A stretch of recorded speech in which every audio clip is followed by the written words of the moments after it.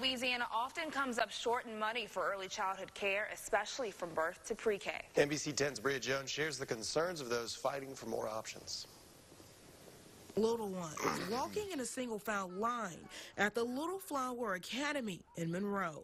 Meanwhile, a group of adults sitting in their gym discussing ways to ease the early child care financial burden for parents. Child care costs almost as much as a public co college tuition. This child care center here, um, which is a wonderful center, for example, costs $5,400 a year. Statistics show there are 173,000 children in need from birth to age three in Louisiana.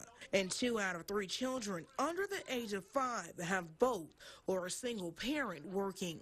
A hardship for both parents and employers. It's very tough for our families, our working families, to be able to access reliable, quality care. The cost to employers of child care breakdowns of working parents is over $800 million a year because so many families are missing work, they're late to work. Numbers that are eating away at the pockets of the working class, leaving state education leaders to plead their case, asking area legislators and business leaders for help investing in a better future.